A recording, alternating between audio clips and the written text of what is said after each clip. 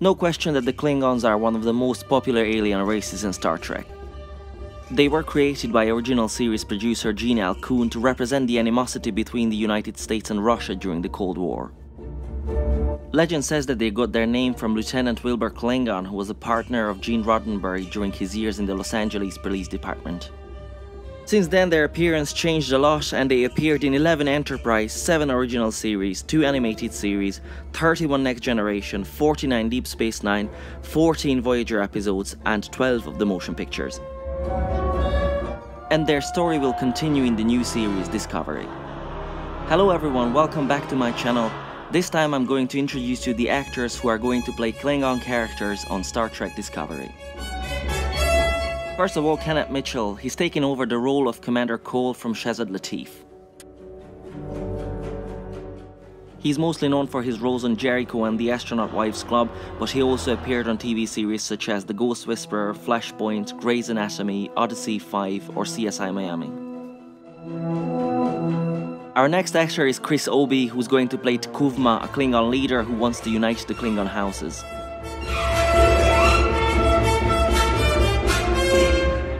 He was security guard George on Doctor Who Season 6 episode Closing Time and Anubis on American Gods.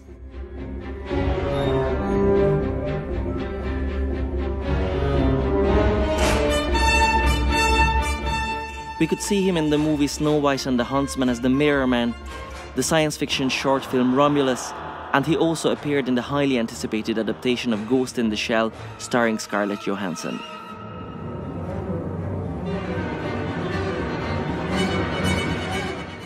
L'Rell, the battle deck commander of a Klingon ship, is going to be played by Mary Chieffo. She's a well established stage actress, mostly known for her Shakespearean roles in theatre, and she also appeared in the almost completely silent film with music, The Perfect Fit, in 2012, alongside Octavia Spencer. Damon Runyan's going to play Ujilli, who's described as a leader in the Klingon Empire. His on-screen credits include Smallville, Supernatural, Degrassi The Next Generation, Nikita, Lost Girl and Haven. His biggest role up to date is Charles Falco, a former ATF informant on History Channel's factual-based drama series Gangland Undercover. Ujilli's partner Dennas is going to be played by relatively unknown actress Clare McConnell. Name is Clare McConnell and this is a song about problems.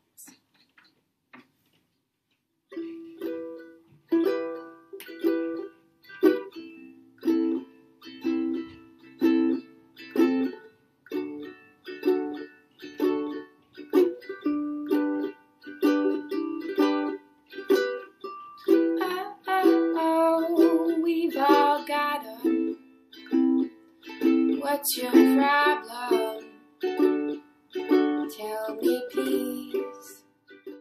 As you could see, she has her own YouTube channel to which you can all subscribe. So they were the actors who are going to portray Klingon characters on Discovery, but what else do we know about the Klingons? Well, not much. We've seen a glimpse of uniforms in the teaser trailer that might belong to Klingons, and there's also been a photograph in circulation on Twitter that allegedly shows extras playing Klingon characters during their break. Even though it was said that established races might look different in Discovery, there was a huge uproar on the internet about the look of these Klingons.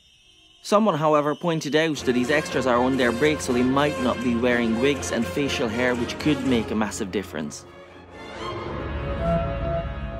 Whether they are the actual Klingons we are going to see on Discovery or not, their look reminds me very much of the Klingons in Star Trek Into Darkness.